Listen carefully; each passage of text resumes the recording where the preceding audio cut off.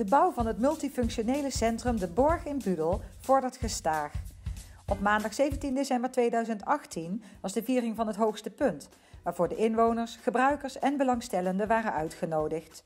Burgemeester Roland van Kessel, wethouder Mark Lemme en de ambtelijke voorzitter Gewoon Budel Ton van der Laar verrichtten de officiële openingshandeling.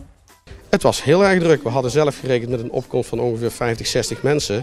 En uiteindelijk zijn er meer dan 150 man bij de opening gekomen. Dus uh, het leeft echt uh, binnen, uh, ja, binnen Budel en binnen Kranendonk, de Nieuwe Borg. Men, men, ziet in, ja, op straat wat er gebeurt. Zo'n gebouw krijgt langzaam vorm en, en, bouwt zich op. Ja, mensen zijn toch benieuwd wat er, wat er komt. En is het gewoon heel goed, ook voor de betrokkenheid en straks ook voor het vinden van de nieuwe borg, dat men ook ziet nou, hoe is het nou tot stand gekomen.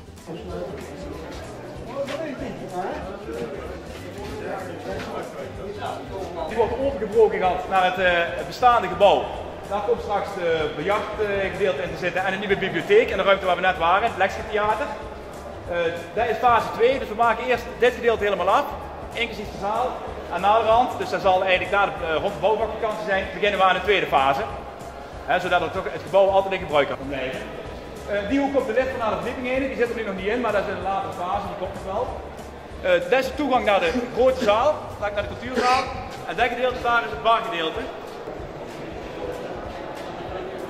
Het heeft natuurlijk hobbels gekend, uh, er zijn drempels geweest, maar uiteindelijk zie ik nu dat iedereen in de meewerkende mode staat en ook weet wat de plek is wat die men straks in de nieuwe borg gaat krijgen. Uiteindelijk zijn we dadelijk klaar, dan zijn we 15 jaar verder, maar dan staat er ook wel een gebouw waar we de komende 40 jaar op een geweldig mooie manier mee aan de slag kunnen. Ook de bibliotheek krijgt een plek in het nieuwe gebouw aan de Dr. Anton Matthijssenstraat.